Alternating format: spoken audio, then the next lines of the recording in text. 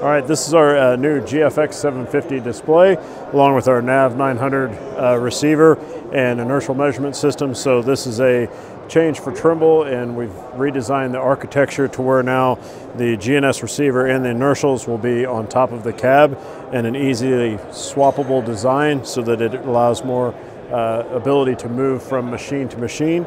The GFX 750 display then has been set up uh, to optimize that ability to be able to move from machine to machine with just uh, two connections, a single connection going up to the roof to the NAV 900 system. Um, we've also redesigned the run screen to make it more intuitive and uh, user friendly.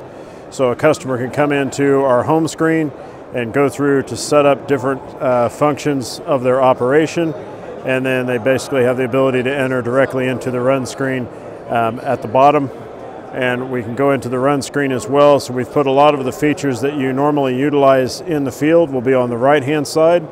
If a customer wants to make modifications or changes as they're going through the field we can always go back to the uh, to the home screen make modifications see details see the progress of our job if we have a field boundary set up to see how much of the job is remaining or how much of the field still needs to be worked or sprayed or uh, application that needs to be done.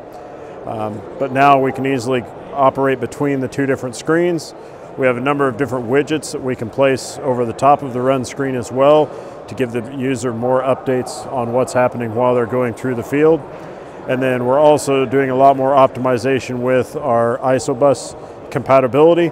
So we have the ability to go directly into the uh, UT display, the Universal Terminal display, or we can also display a widget on top of the run screen as well so that the operator can see user terminal, task controller functionality directly on the run screen of the display.